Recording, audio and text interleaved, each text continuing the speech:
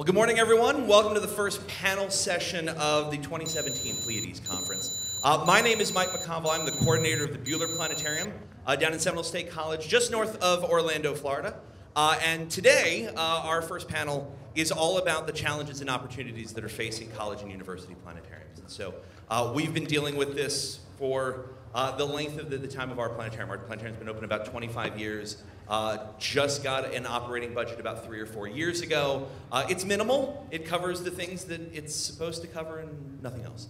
Uh, and so it is always the constant search for grants and for other opportunities. Uh, and of course, we've got different schedules. We serve our community in different ways. And so hopefully this morning, uh, we can all come to a better understanding of how to help each other as we work in the college and university system. So very, very briefly, I'm just going to introduce all of our panel members this morning, and then each of them is going to have some time to introduce themselves and give a little bit of background as to why this is uh, such an important panel of them. Uh, first, Derek Demeter. Hello, everybody. Uh, Derek Demeter. Uh, then uh, David Weigel, Ann Bragg, Katie Maurer, Emily Roll, and David Hurd. Mr. Demeter, the floor is yours. All right. So, hello, everybody. So, uh, my name is Derek Demeter. As mentioned, I'm the director of the Emma Buehler Planetarium at Seminole State College, just north of Orlando. Uh, and uh, basically, Mike kind of already introduced a little bit about what we are. Uh, we're a 30 foot dome. Uh, we're settled in a essentially two year college that just uh, upgraded, I guess you could say, to a four year college. We do now offer bachelor's degrees. And uh, essentially, we pretty much service the entire community of Central Florida. Uh, there's really no true other planetarium in the area. So uh, here we are in this, uh, this college in a 30 foot dome, about 55 seats, uh, basically serving a population of around 3 million people. Uh, so that becomes a little bit of a challenge. So we're, you know, we've created some really interesting, unique things to solve that. our, and one of our biggest things is our outreach programs. So I'm looking forward to talking more about that later on. But, uh, but yeah, so I'm very excited to be part of this panel and uh, look forward to answering questions and, and discussing. Thank you, Darren. Mr. Weigel. All right, thank you very much. Uh, like you said, my name is David Weigel, and I'm the planetarium director at the Christenberry Planetarium at Samford University. That would be Sam, not Stan. And uh, that's in Birmingham, Alabama. And we are a small, a small liberal arts school um, a variety of degrees as well as a pretty uh, reasonably large uh, graduate program for the, the, size of the college. And we also are the sole planetarium uh, in our city, so we serve all of the Birmingham community and a good bit of the surrounding area uh, as well. Uh, I believe we're one of four or five um, planetariums in uh, the state, and not very many within the uh, surrounding area. So we do serve a, a very large population. We're a 40-foot dome. We seat just under 100. And we were, uh, we've been a planetarium since 2001, and were initially built uh, solely for university use. And I guess the goal was to provide a planetarium experience uh, for the university, whatever that means exactly and that wasn't really fulfilled, and it was sort of put into the ground uh, almost. And I was hired three years ago, and we've been reviving that as much as possible and trying to do as much public outreach as we can, as much university outreach. Um, and without getting too long-winded, I'll tell you a lot more about that momentarily. So thank you for having me today. Thank you, David. Ms. Bragg. All right, well, my name is uh, Ann Bragg, and I'm the planetarium director at the Anderson Hancock Planetarium, which is at Marietta College in Marietta, Ohio. Uh, the college is a small liberal arts college. We have about 1,200 students, and our community is not particularly large. We have about 15,000 residents, but we are in the uh, less affluent part of Ohio, the Appalachian part of Ohio, and so um, certainly many of the visitors coming to see us are not particularly well off. So um, we generally do most of our outreach programming at no charge for our visitors. Because of that fact, we want them to be able to come. Um, I think the, the biggest challenge that faces us is that we really don't have any real staffing for our planetarium, which limits uh, what we're able to do. And I suspect that there are many in the audience who are in similar situations, um, kind of doing everything on their own. So um, that may be something we get a chance to explore a little bit more, but I will uh, save it for the questions later. Thank you, Anne. Ms. Maurer. My name is Katie Maurer. I am a senior student operator at Olivet Nazarene University. We have a Strickler Planetarium on our campus. Um, I'm an English major, but I've gotten into astronomy. Um, Olivet is, like I said, it's a Nazarene school, so it's private and it's pretty small. It's about 3,000, 4,000 undergraduate students. Um, and it's in a Kank- uh, the community of Bourbonnais, Bradley, Kankakee. It's about four hours north of here. Um, and the planetarium so far has focused on mostly community outreach. So this year we're going to focus more on um, campus outreach, and so we're going to talk about more about that, that later. And then Emily can tell you more as well. Thank you, Katie. Ms. Rule. Good morning. My name is Emily. Um, I'm an engineering student at Olivet Nazarene. Uh, I've become involved in the uh, the planetarium and astronomy, uh, similar to the way that Katie has. Um, we work with uh, Stephen Case, who some of you may know, and so Strickler Planetarium is a 30-foot dome. We've got 50 seats. Um, a lot of what we do is uh, students coming in from local grade schools and places like that. We have our public shows every other weekend. So we have some, we have a lot of community coming in, like Katie said, and we're working on building our, our reputation with the, with the students, where we bring in students um, in, their, in their various classes at the university and, and utilize the, the planetarium in that way in maybe like biology classes or geology classes and things like that. So I think maybe we'll we will also address some of that later in some questions. But that's our that's our planetarium. Thank you, Emily. And finally, Mr. Hurd. David Hurd. I teach at uh, Edinboro University of Pennsylvania. It's in northwest Pennsylvania. Uh, we have approximately 7,000 students that attend Edinboro University. We're in an area that serves approximately 150,000 people with Erie and the surrounding area. There are two active planetariums there, mine and one at uh, Penn State Behrend College also. So there's a lot of competition, but it's a healthy competition.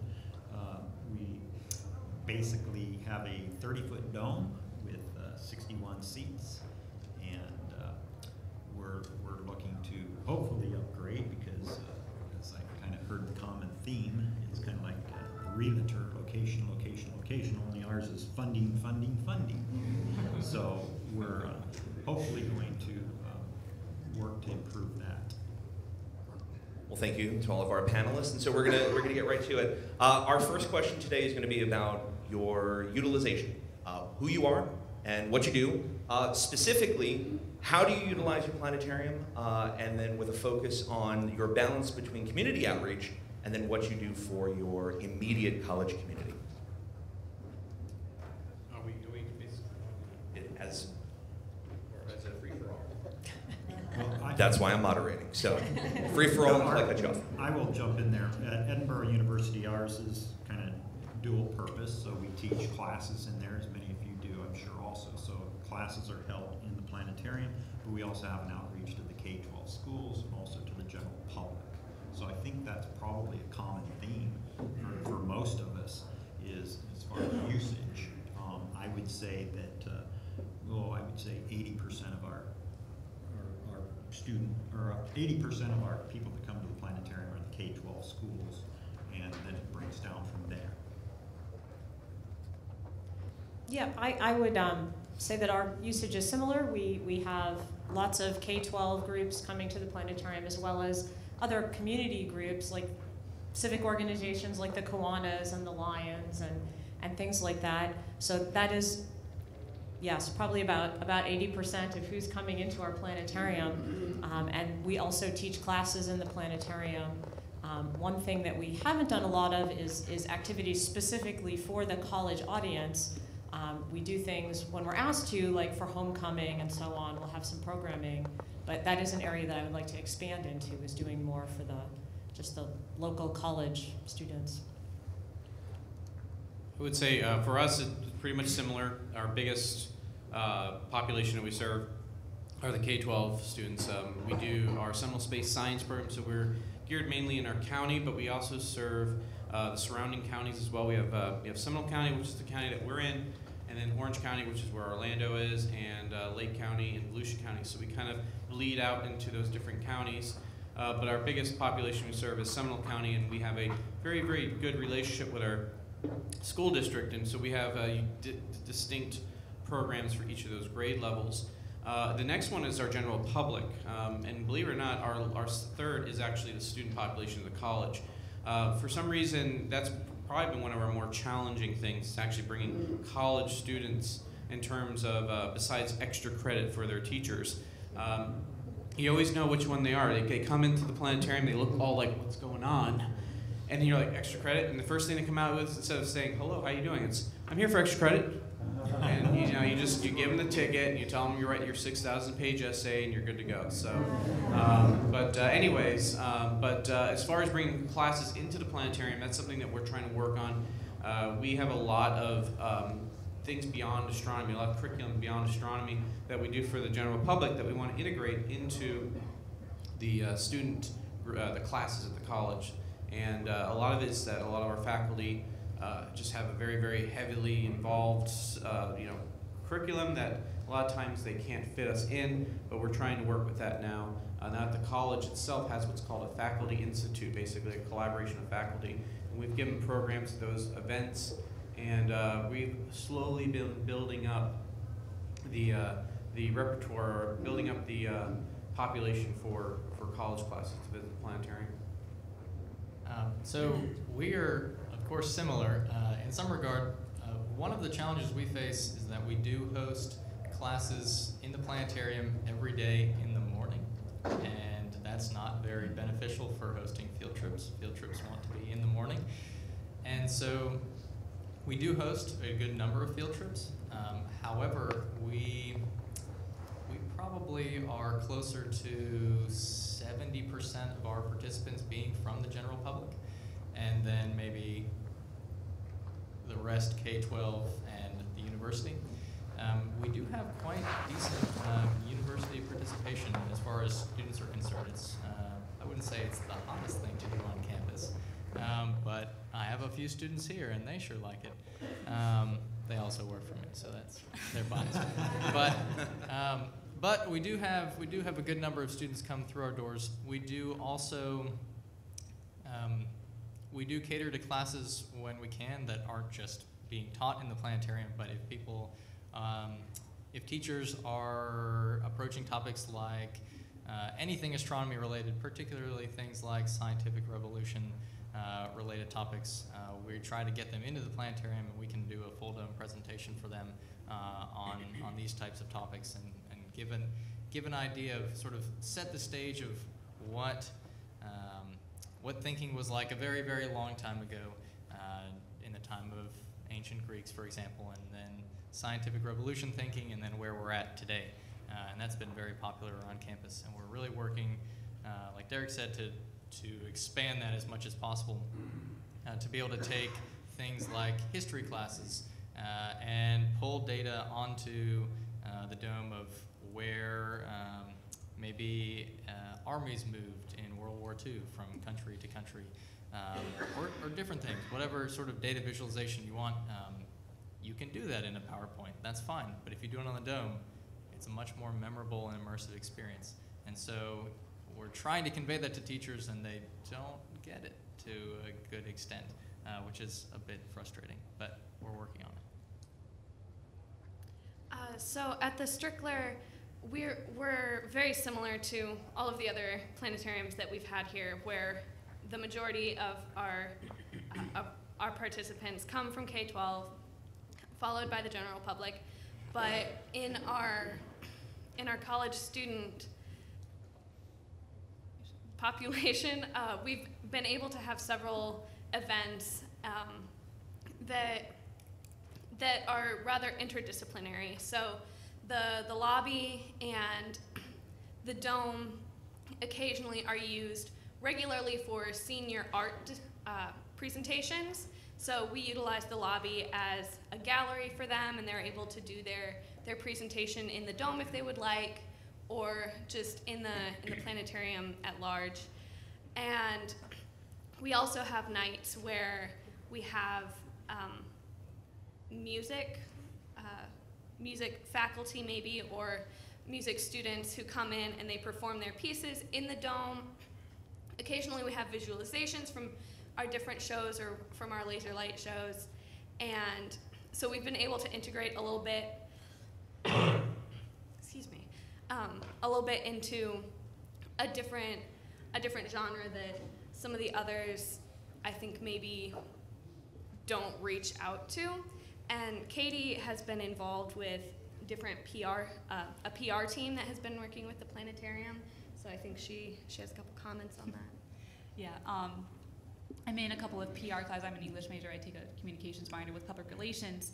And some of the events that we've done that were, especially this semester that we're doing a lot, um, which is campus events, like we're trying to get more students just involved and aware that the planetarium is there. Because a lot of even my closest friends that know that I work there, they say, oh, we've never been inside. We didn't know that they have shows. And some of them, I think, are a little confused as to what a planetarium actually does. They think it's more of like an observatory. or Does the roof open? Yes. um, so one of the events. Grow in there. Yeah. So one of the events that we have planned this semester is in one of like the um, the cafes on campus, and it's the planetarium director, Dr. Case, who isn't here right now, and the university chaplain, because it's a Christian college, so we kind of like name recognition, and they're just going to be in the cafe talking about um, like exoplanets and the possi- possibility of extraterrestrial life, and, but then the theological perspective and implications of that in a really casual setting to try to get students involved and just aware of what we do. Um, I know a couple of other classes, courses in general, sometimes they just have movie nights in the dome. We don't do a full dome projection, but just a projector onto the front of the dome. So it's kind of cool to just go in there and see. Um, and in terms of community outreach, like we said, we have our public shows every Saturday. Um, like I said, we only seat about 50, but it's we get a pretty good crowd, especially over the summer with the clips that I'm sure we've all had a really big boost of talking about that. Um, we got pretty popular and busy over the summer, so we're hoping to carry that over into our shows this year. And field trips and community groups coming in, like Emily said. Last year, with my PR team, we planned a couple of community events. We planned a craft night with a local children's museum. Um, and it was just a fun way we had like space themed crafts and it was on national craft day it was back in march and it was just a great way to work with another established organization in the community to try to pull the name recognition but to get ourselves in there as well and get space themed to get a lot of people interested and we also had an educators workshop which ca- capitalized on the eclipse. We had one of the eclipse shows and we had we got some materials actually from the children's museum that wasn't they weren't geared towards the children's museum's like audience. They were real little too advanced so they just donated it to us. So we had this educators workshop. We invited all the educators in the area to come and get it was about an hour long. We showed them the eclipse. We showed them different ways of teaching about it with different models. Um, and that would probably just reflect into more field trips but it was a way we're more focused on just getting our name out there into the community so that people are aware of what we do All right, our next question is going to focus precisely on those programs. Uh, one of the salient issues uh, in colleges and universities is that our planetariums do not have a consistent audience stream. Uh, and so it is oftentimes the quality of our presentations rather than the quantity of presentations uh, that help to define our institutions. And so at your individual institutions, how do you produce and procure your content for the dome? So we're as um, any of you like many of you know me like I like to brag about the fact that we do all live programming at the planetarium. Uh, we have about uh, 50 to 60 varieties of shows ranging from uh, what's up in the night sky to uh, the origins of Halloween to uh, looking at Chinese and Japanese astronomy to uh, the Civil War to investigating tropical cyclones uh, and uh, debunking science myths like Bigfoot on Mars. Um, it's a real show, by the way. Um, it's a real show. Uh, actually, Mike and I dress up in costumes. We're Doctor. I'm Doctor D, and he's Reggie Pennington. It's like a talk show, kind of like Jimmy Kimmel or something like that. We actually banter between each other. and it's, it's, it's, it's fun. It's fun. We, we enjoy doing that. So, uh, but anyways, the one nice thing about being in a college planetarium that I see is that um, we have a lot more freedom, at least at our institution, we have a lot more freedom in designing how, when we do shows. Um, so we can spend more time creating these unique types of uh, programs and not feel like, oh, we have to present a show at 10 o'clock, 1 o'clock, 4 o'clock, or you know, whatever it is. We have public shows on Friday and Saturday nights, and we have complete control over when we want to do those shows. And there's sometimes we don't have a show going on in the planetarium on Saturday night because we're actually at Canaveral National Seashore doing a night sky uh, star party, or we have these huge giant star parties like our Winter Sky Festival, which is actually the largest astronomy event in the state of Florida. Uh, we had over 6,000, 7,000 people at that event uh, last year. Um, and um, we, you know, we, we have a lot of freedom, that's the one nice thing I do like about working in a college. I've, I've discovered talking with people uh, from the museum world is that we have the little bit of ability to say, okay, well, we don't have to do as many shows, but the shows that we're going to do are going to be unique. We're going to we're going to we're going to try to be able to produce programs like that. Uh, and we, we use UniView for most of our shows. Uh, the nice thing about our system is that um, it's all on the fly, so we can create and produce content that we can show on the dome. Um, we also have a unique thing where we actually um, created a essentially a projector that can work in pretty much uh, a dark type of environment, like when we have our Minolta MS8 turned on, where we can actually show visuals and slides and stuff like that. And it actually covers about you know 40 55, 50% of the dome. So it makes it look like it's actually a full dome type of uh, image. Um, so we were able to incorporate a lot of that kind of stuff. But the most important thing that makes us unique is our storytelling aspect. All the shows are done live, so it's either Michael or me that are pre presenting those shows, and we add in a lot of comedy. We add in a lot of that kind of unique storytelling aspect that makes people uh, want to come back. And, uh, and so those are things that uh, I feel that are unique and, important when we develop programs is that uh, since we don't have that constriction of, of, being in a you know schedule, we have to have these scheduled shows all the time. We can we can be a little bit more creative and, and design shows that are, are um, that are a little uh, a little bit more unique than the average uh, planetarium. Um, we don't really do any full dome shows per se. Um, because we because we built up this reputation in the in the community as being Mike and Derek. I mean, the planetarium in many ways is Mike and Derek. Uh, when people come to the planetarium, they don't just come to the planetarium; they, they, they get a chance to experience us as and, and our planetarium. It's like our, our you know, we're, we're kind of symbiotic. You know, we feed off of each other, and uh, and that's something that is unique. And I, I like to stress that you know if you're in your college community, you know get connected with your community, get connected with your students, get connected because people are going to see you as the planetarium, especially with the fact that we might only have one or two people working in the planetarium. Uh, being connected to those people will help them want to come out and see you and see what you do. All right, well, you, you say unique, but uh, that sounds like exactly what we do, um, which is awesome. Yes. Which is awesome. Um, we do also exclusively live programming, and uh, we are a mirror dome setup uh, that's homemade and runs Worldwide Telescope exclusively. We do no pre-made full dome content. Um, the way we structure our shows, uh, we start off with, I say no pre-made, uh, we make a video in Worldwide Telescope somewhere in the 5 to 12 minute range and set it to music, maybe include some text, maybe not, and it's awesome. And it gets people really, really pumped. And you're all asleep, you're not very pumped yet. But uh, if you watch one of our videos, you would be. And if you want to make one, you can later. We have a workshop for that this afternoon. But that aside, uh, we get people very, very excited about um, the cutting edge research, discoveries, these sorts of things that are going on in astronomy through this live programming, and we're able to pull in data as it becomes available and uh, talk about it for our audiences. And so uh, we are also developing a, rep a, reputation among the community for being uh, the, the, leaders in astronomy and uh, the public education, uh, the distilling uh, or the distributing of this information to the public. And so, um, again, we, we have a lot of control over when we give presentations. I don't work on weekends, and that's a fantastic thing. I work lots and lots of hours uh, throughout the week, but um, I can I can pick when those shows are. So we do public presentations on Thursday evenings at eight o'clock, and generate pretty pretty solid attendance um, just by word of mouth. Uh, we have we have very minimal funding, as many of you uh, surely do, and so we don't really have uh, great means of advertising, uh, short of uh, we basically use social media and word of mouth, and uh, it's the compelling nature of our presentations. I think that really helps to to bring in these crowds. Um, what we enjoy most about the the live and interactive nature of it is that it's not it's not a lecture.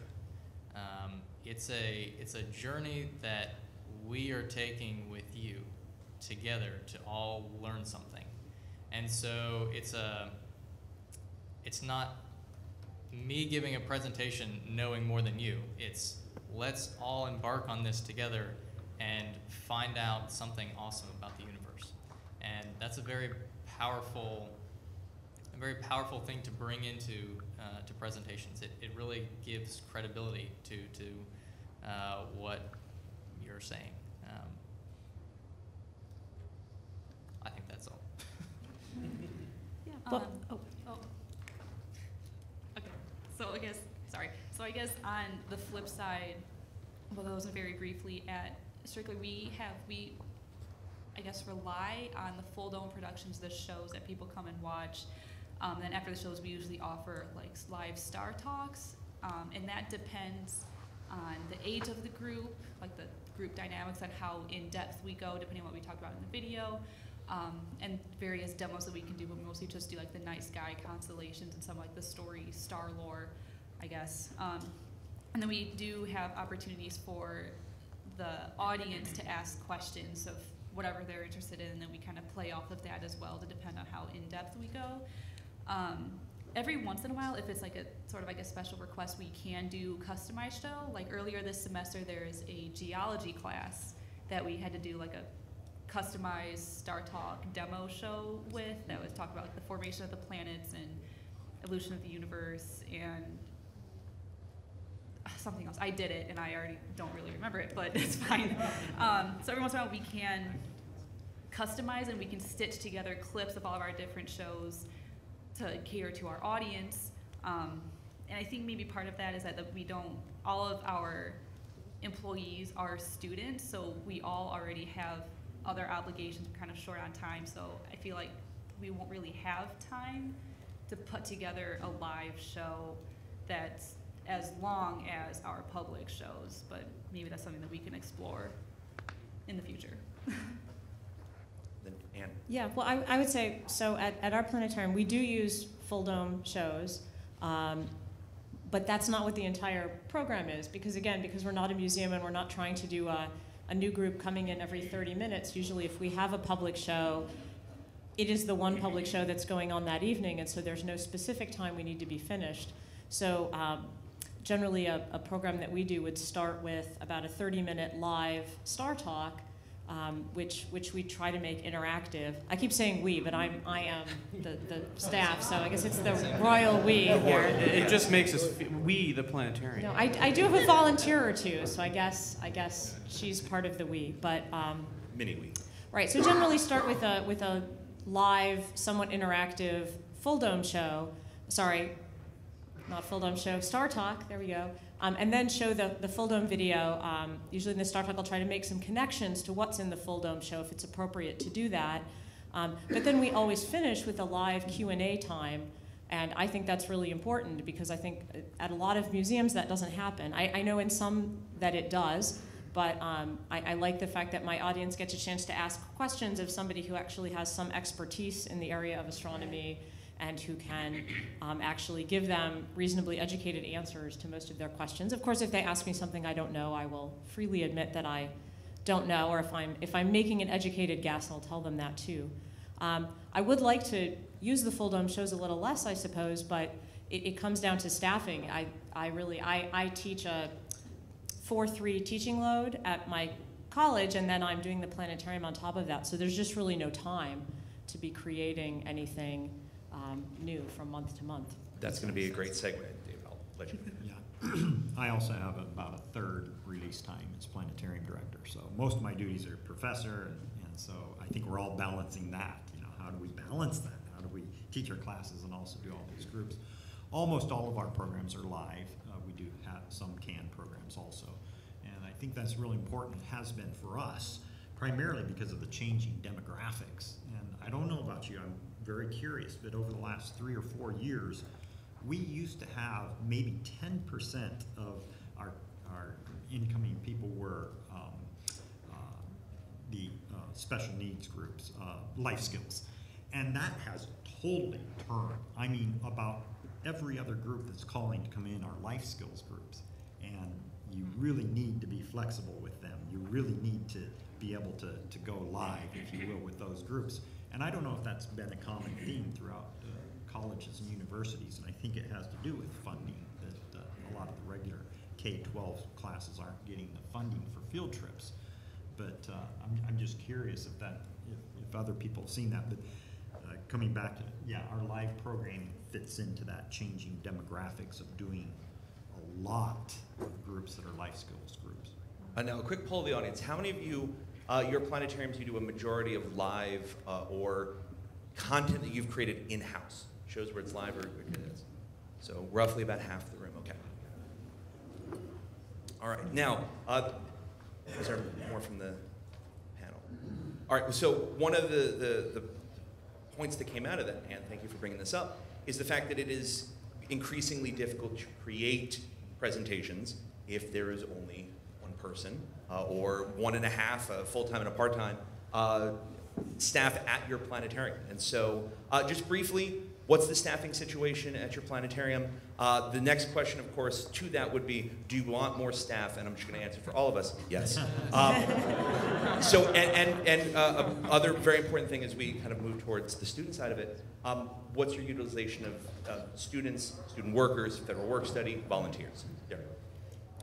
Okay, uh, all right. Uh, so um, the answer is yes. We could always use more staff, even though uh, Michael and I are both full time. Um, I my particular pay grade is administrator, so I can only work. Basically, uh, I can't work overtime. Mike can. In fact, actually, that he's very happy about that for the eclipse. Sweet, sweet. Very, very happy with that eclipse. Time and a half. Um, and uh, they're like, you know, so. Um, but anyways, um, we we are at a point now where you know we we started out with with uh, one full-time planetarium director. Well, actually, originally it was a planetarium uh, paraprofessional, and uh, when I took over uh, from, for those that remember Laurent Pellerin, uh, he was just a paraprofessional. And then uh, when I came in board, we were able to kind of justify to the Human Resource Department that we really need a dedicated planetarium manager. And so we were able to bring in a, a planetarium manager, and we still had a, a part-time planetarium paraprofessional as well. But over the years, we were able to get Mike uh, full time, and then eventually uh, reclassify him as a as so what we call you now, a senior planetarium operator. Basically, he's a planetarium coordinator, but you know the human resource department of the college is they're weird about their names, but in reality, he's the coordinator of the planetarium. He's the guy responsible for you know coordinating and and and, and reserving the field trips and making sure everything runs smooth. Um, and but at this point now, we are in need of a potential part-time person, and uh, uh, we uh, we talked to our work studies program at the college. The only problem with us is that we're a two-year college, for the most part. Even though we have a four-year program, majority, most about 80 to 90 percent of the students are are, are are two years. So the problem with a two-year college, unlike a, a four-year or even you know beyond, is that you get a huge turnaround. Uh, and you get those ebbs and flows. When, one year we did this incredible Halloween event with, with theater students, with, with uh, student government uh, students, student activities students, and it was phenomenal. However, the next year, most of them graduated. And then guess what? All of a sudden, we had a new core of students that just, it was like herding cats. You know, it was just, I mean, and, and so we have this problem where we have this constant up and down of students where you get these really high class students that are you know working in these incredible you know working they're in the honors program they're you know a lot of them are, are building up these amazing scholarships. And then the next year you have students where it's just like planetarium you know? And it's just um, oh I, I study astrology. Uh, you know you got you got or you get the students to say they study cosmetology but um, but um, you know, these are things where we, that's the biggest challenge for us is that how, you know, how do we manage, we had this constant turnaround of students. So when we, when we finally find these students that are incredible to work with, they're either going to graduate or they're, and a lot of them will go off to, you know, they won't go to UCF, they won't go to the local university. Some of them do, and we, ke- we catch on with them, and some of them become members of the UCF Astronomy Society, and we keep them kind of helping us out as a volunteer. But a lot of them either go to UF or go out of state or out of country, and then all of a sudden we lose that really good talent. And usually the students that are very good are the ones that tend to go to really good schools that are usually out of the state. And so we're, we're under that problem where, you know, we build up this, you know, it takes a long time to get a student trained in the planetarium. It's not just like, here you go, you know, it's, it, you know, you, you need to, you need to teach them how to use the planetarium, you need to teach them how to use a telescope, whatever it may be. And by the time they finally get used to it, they're going to graduate. Um, so it, that's our biggest challenge in our planetarium is how do we work with work studies? And a lot of times work study programs are only good for a semester. And uh, they're only good for 10 hours or five hours a day or five hours a week. Uh, five hours a day. that'd be great. Uh, five hours a week. And so it, it, makes it challenging. So what we decided to do is i think the best opportunity is, is for students anyways is to help out at our big events. Again we created these large scale astronomy events our star parties, our, our Sky Festival. And usually we like to get students involved with that. What we do is we'll do a, a, call to students to help out. A lot of the things that Mike and I need are support. We need support for, you know, helping us with, with, with those kind of things. So we designed a system to where majority of the shows and majority of the things that we do on a daily basis, Mike and I can handle. Uh, but we're getting at the point now where, you know, we're, we're in the talks of getting a portable dome because a lot of the schools uh, can't visit us, but they're like, can you, can you come to our school? So if we were to get a portable planetarium, we're definitely going to need to have somebody else to help with that. Um, so we're, we're kind of in a, a rough spot because we want to grow, but we can't because of the staffing issues. Um, and, uh, you know. Actually, a quick interjection for another audience poll. Uh, how many of you, the planetarium director or manager, highest level in the planetarium, is a faculty position? Okay, so so in the minority. Okay. Yeah. Yeah, and in fact, actually, interesting thing is that you know, if, uh, the, my position, you can't teach uh, during core hours. So, uh, and that's the same thing with any dean level or anything like that, because uh, you know, that's your your role is to do your job and whatever it is. So, um, and um, and so basically, what what it is is that. Uh, we're again we're in an issue where we, we have these students that are turning around and we have to figure out a, a good solution to how do we build a, a, volunteer program? How do we build something where we can we can you get them in, trained, help out for that little period of time, and then you know they're off. So, yep. Yeah, I I'm a professor there, so I get four hours release time as planetarium director out of the 12 load hours per semester. Uh, so, and I'm it, and so I rely heavily on students. I used to have a graduate student that uh, worked for me regularly, and that helped immensely. Uh, however, that funding has been taken away, so now I'm relying solely on undergraduates. And you bring up the great point of the turnover. You just get them trained and then they move on. And so I just want to put in a little plug that a lot of my students are here, and they have a program called CHAOS uh, that stand. Well, they'll tell you all about what that stands for. But it's been a really neat program because it's student led and it's student generated. So it kind of keeps that pipeline open. And I don't have to do a lot of work of recruiting the students. I kind of rely on CHAOS to be my pipeline to bring new students on board with me. And they're present, when are you guys presenting? The, tomorrow. 1010. Okay, so they're presenting on that, which I think is a neat, unique concept of a student led pipeline for the planetarium. So anyway, um, same challenges though.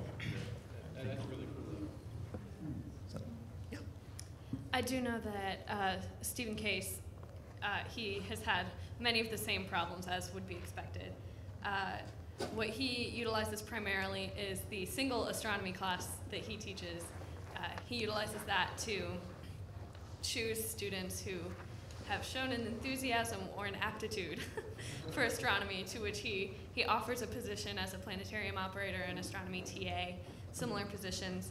So in our planetarium, our shows are probably 80 or 90% run by student operators, and we are all undergraduate students as well. So Katie and I have been probably a couple of the longest running uh, operators, as far as we're aware anyway. Uh, we began our positions after sophomore year, we are seniors and are planning to continue until we graduate.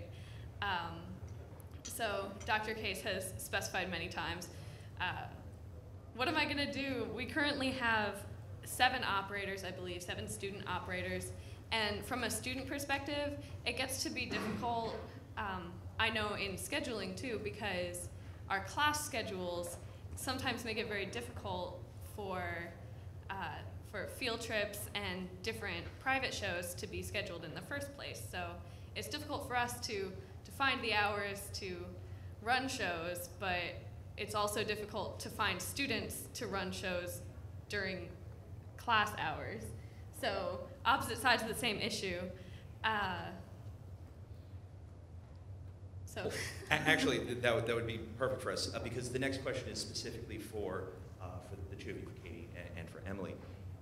What do you think would be a series of best practices to make it better for the student experience? What do you want to get out of being a student operator, student volunteer, and how can the planetarium field, specifically, of course, college and universities, how do we better utilize the students, like give you a, a more effective experience?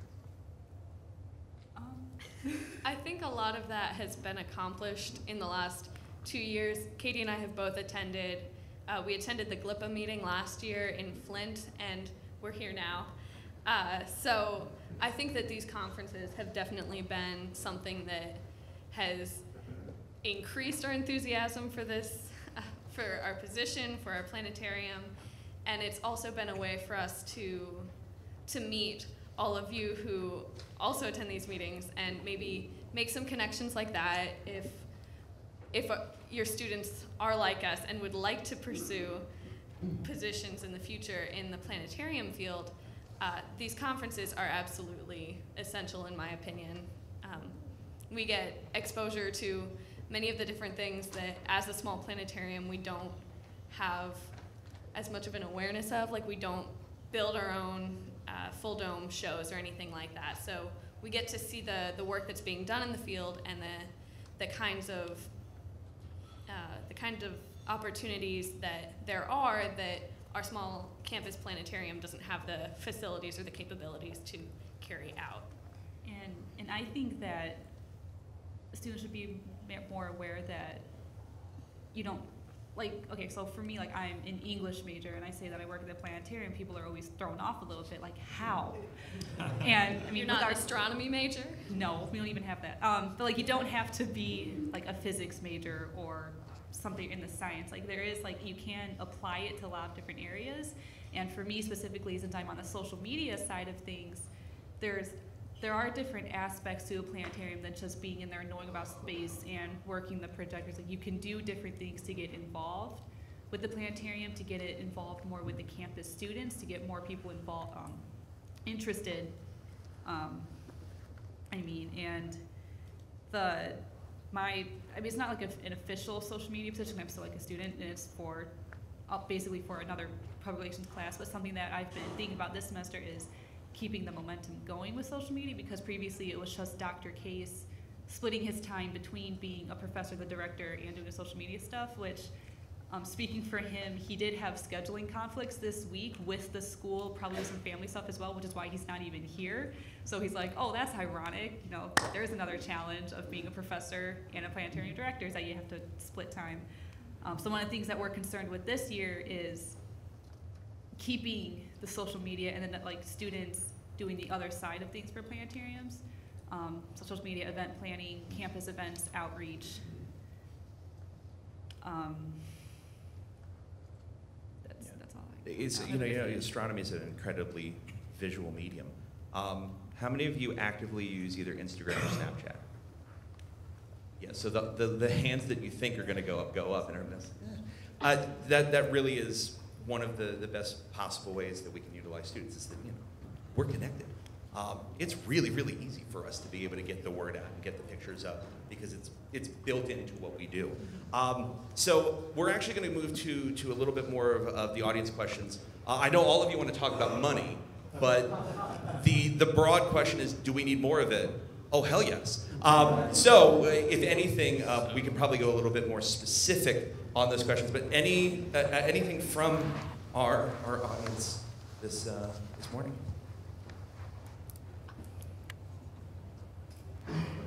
Hi, I'm Michael McGee from uh, University of Arizona in Tucson, Arizona. And we came across um, an interesting issue recently where in the past seven years I've been building up our planetarium to be more active in networking across campus. And we've been very successful at doing that. And a lot of good things have come out of that. But there's also a negative side to it, which is the uh, Dean of the College of Science, the professors in the astronomy department are paying closer attention to what we're doing. And we recently had, uh, we hold college classes in our planetarium. We recently had one of the professors who teaches, who loves planetarium, say that one of his colleagues criticized a public presentation he came to because the student running it made a mistake about the sun. I think we were talking about eclipses or, or something like that. And um, we went, well, okay, um, what do you suggest about that? Well, he suggested that all of your shows should be presented by a PhD. We should not be using anyone less than a PhD. And, and the two students we have up here, our situation is very similar. So I'm just wondering what you think about that. Well, that's silly. Uh, I was gonna say, um, we, I think, I think that definitely comes. I mean, the more the more success you have, the more popularity more popularity you have, definitely you're going to, to run into those uh, sorts of things, and, and we certainly have. Um, whether it's people criticizing me uh, or some of my students. So, I mean, that's that's sort of inevitable. But uh, what what we do, I mean, people make mistakes certainly. And even if you know the material, you might just say the wrong units. Like that happens. So we we really strive when I when I train my students to present. It is it is very very rigorous, and uh, they can tell you. Um, we like I grill them with questions and that sort of thing, and they have to think on their feet. But on top of all of that, it, I mean, we really drill into them the mentality of don't assume to know things you aren't sure about. And so I think when you have the when you go in with the mindset again of we are we are sort of going on this journey together and I'm telling you the things I know and telling you things that uh, I know with, certainty and admitting when I don't know, um, it it gives a little bit more credibility to things. And so people are sort of it is a it is a team effort when it's uh, when it's that the, the audience sort of rallies behind you as like you are our fearless leader on this journey through space. And when you're in it together, it's not necessarily like a a lecture where it has to be perfect. It's not pre-done and everything has to be awesome. Uh, it, it's it's sort of a an experience, and so I don't know if that answers the question of what, how do you how do you react to that necessarily. It's more just oh well. Sorry, they're they're a bummer. Uh, excuse me. First things first. Uh, let's be honest here. It's the ego of the person that's been bruised and the jealousy because you guys are doing awesome work. But really, I've also had PhDs give talks at the planetarium, and they said that the uh, the planets rotate around the sun. So just because you have a PhD doesn't mean you're able to properly identify things. Um, so let's not attack the academics, though. Come on. hey, hey, hey, hey. You know, we're, we're all we're all academics here. Um, so.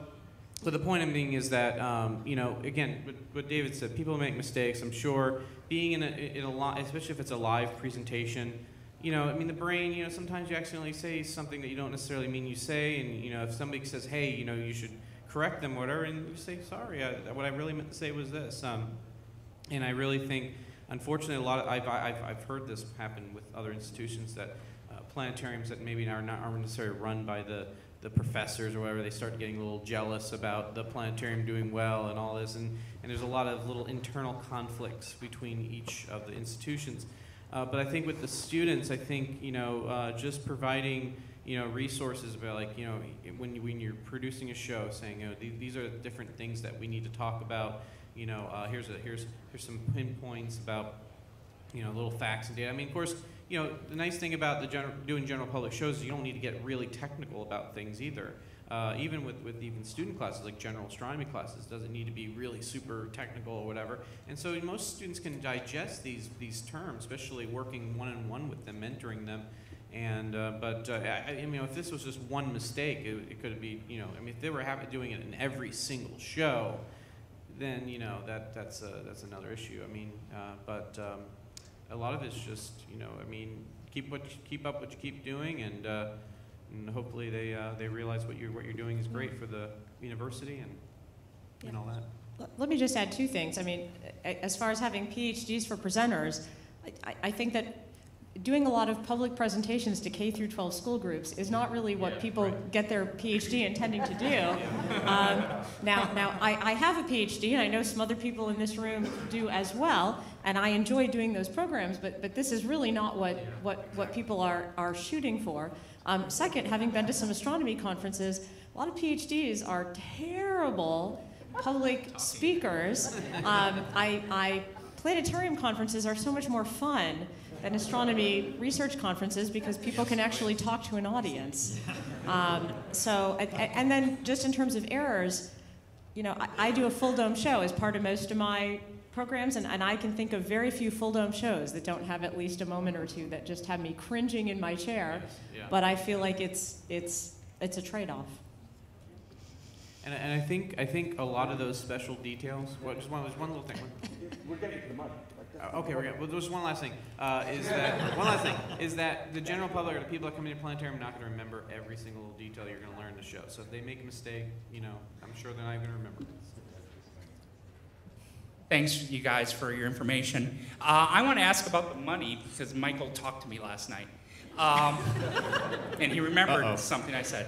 Um, how is your support from your campus? And I guess what I'm asking, to use money terms, is in my case, I'm expected to bring in every dollar I spend. So I have to cover staff, my, my salary, staff's benefits, all the other things. So in my planetarium, I'm bringing in about 150 to 160,000 dollars a year, which all completely goes out. Uh, for support from my campus is literally my electricity I use and an hour of custodian a day. Well, the building's there.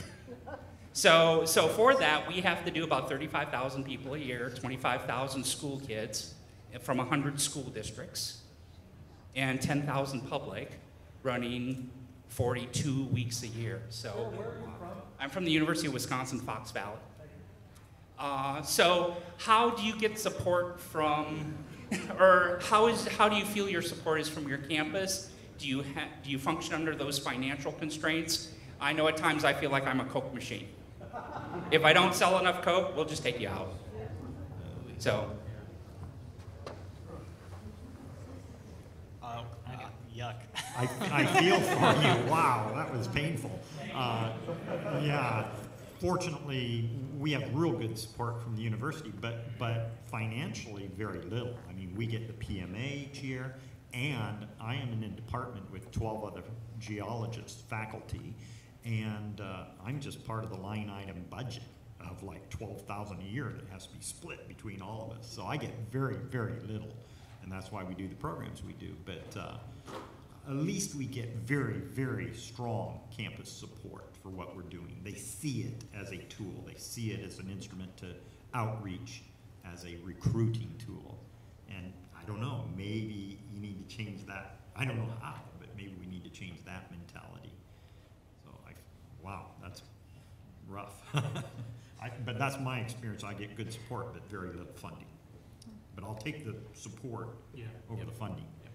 See, we, uh, we have, um, we're a little bit different situation because we have, I wouldn't say it's good monetary support, but we have enough money to do upkeep. We don't have, they don't expect me to bring in any money, actually, um, which I think is silly on their part.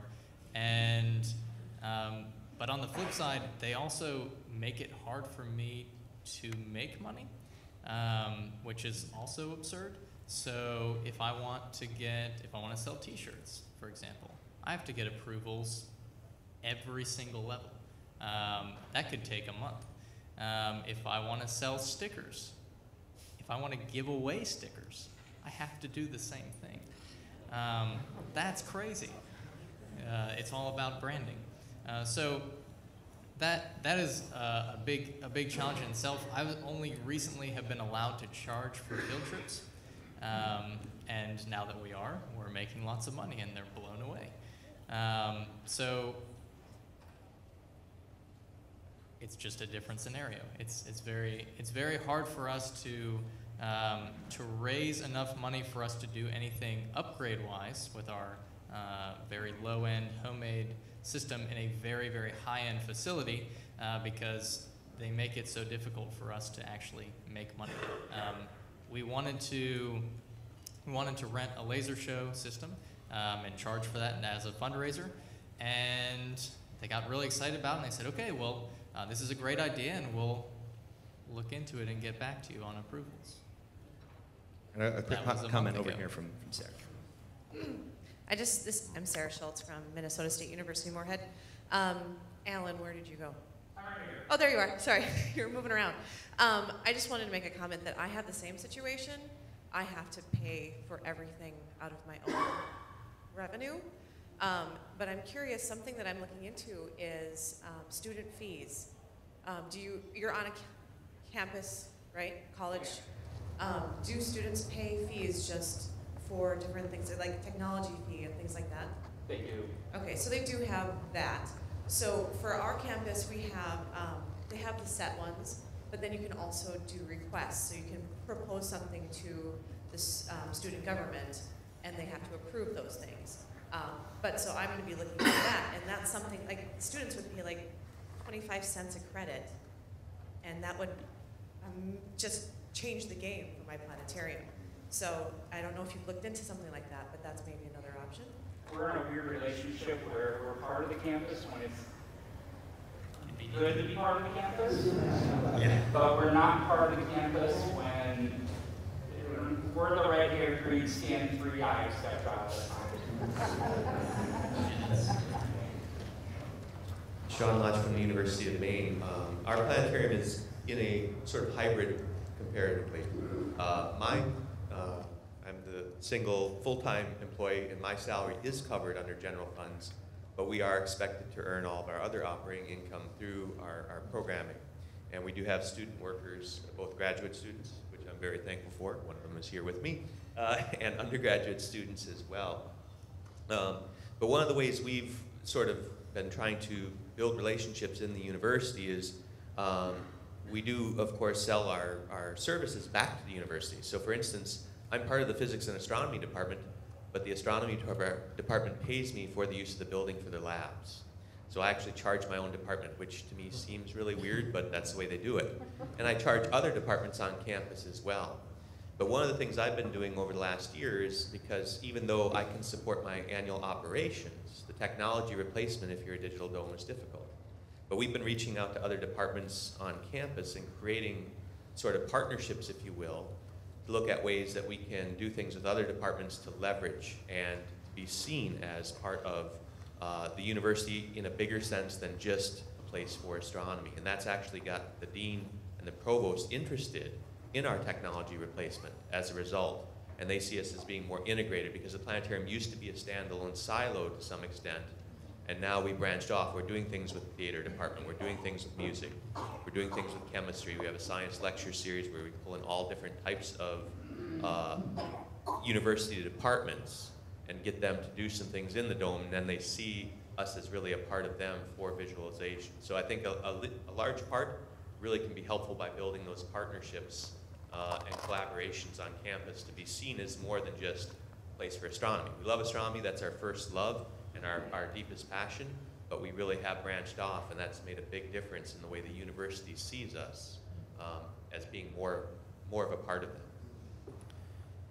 Yeah, um, the thing we have, the challenge that we have is we, all the money that we bring in goes to the general fund of the college. Basically, we call it the black hole of the college.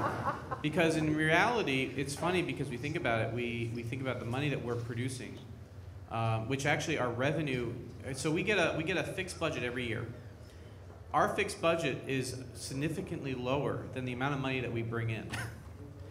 and anytime we and what we usually what I usually do is I always try to justify this by when I'm putting my budget. We get we always do a yearly budget request for things that we want, and it always gets denied. But I'm like, but I'm always putting. I always look at the money that we bring in, and I think, okay, I'm not going to spend any more than that to justify. Well, we brought in this much money, so we should justify having that money. But they never do that, and that just and so that that. But we're having discussions with our administration. We're talking about the importance. I think a lot of it is just really getting with your administration and talking about, look, we're not stepping over our grounds here. We, we're making this much money.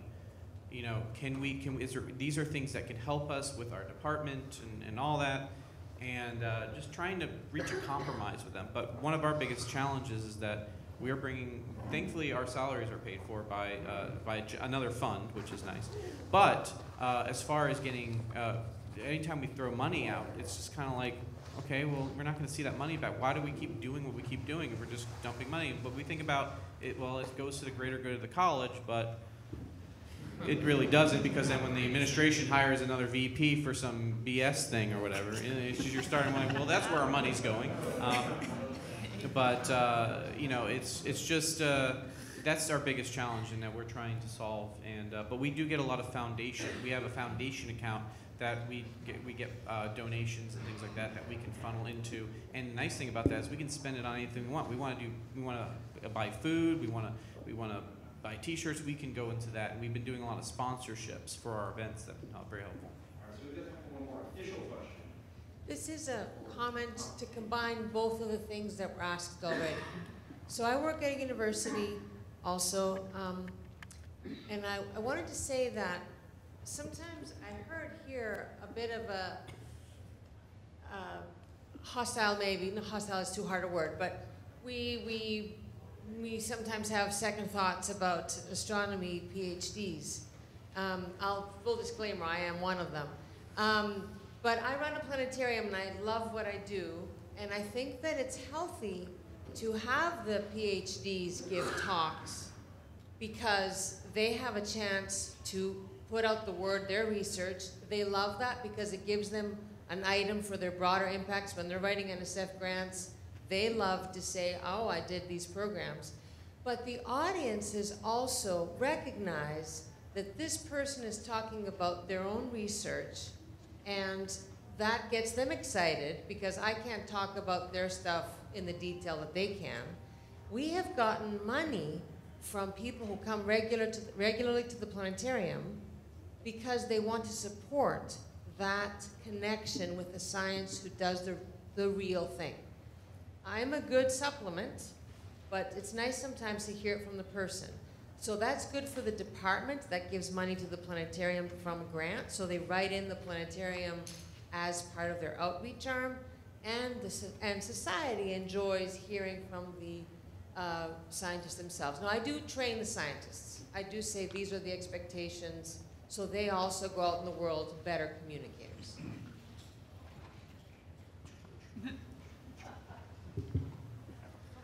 I'd like to echo a lot of what's been said. I, I think, you know, being a PhD who does teach in the Dome, uh, we really have an excellent relationship uh, between Rice and the Houston Museum of Natural Science. I have a small portable at Rice that I use for my classes.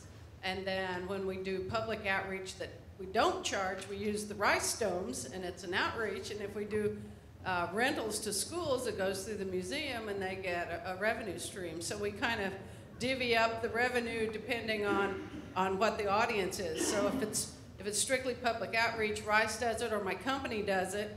Uh, and uh, uh, when we do uh, planetarium shows together, uh, we, Rice University handles the NASA grants because we have a grants office and the museum uh, gets part of the royalties. So it, it turns out to be a really excellent partnership that we can all work together. and, and and that's it. I agree that occasionally a planetarium show has errors in it, and I had some cringe points myself. But um, most shows, if they're done right, have been vetted by a team. So if there is a mistake, at least it's not your mistake.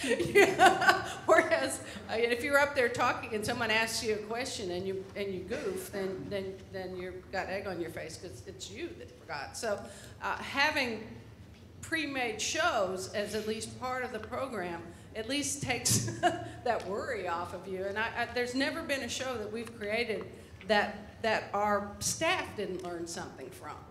Uh, so, um, and then the last thing is, as far as revenue in versus revenue out, again, at Rice, we don't charge for anything because it, it, it does, it gets really ugly. Um, but the, the things that we do charge then goes to the museum and then they have to make an argument. They don't automatically get that money back and that's one of the sad things is they're expected to be revenue positive, uh, you know, but they don't see often uh, the return when they, uh, when they do have a good year. Uh, so another way we've snuck around that one is my, uh, my company does the, the licensings of the shows. And so the museum, often instead of getting cash for their royalties, they'll get equipment. So they say, oh, instead of, you know, instead of royalties, would you buy me a new projector? And, and that's turned out to be really helpful. All right, so we wanted to be respectful of time. We're, we're running a bit over, but I'm on the next panel, so it's okay. Uh, and so, uh, what we'll do, uh, panel members, if you're okay to stick around for a little bit, maybe a little bit more one on one up here at the front. Uh, but uh, a round of applause for our panel members this morning. Thank you guys so much. And uh, I want to say thank you, Michael, for being our moderator. Uh, 36 hours ago, I had no idea I was moderating. So. we, uh, we realized at the last minute, but uh, we really appreciate you uh, doing this for us. And so, thank you, everybody.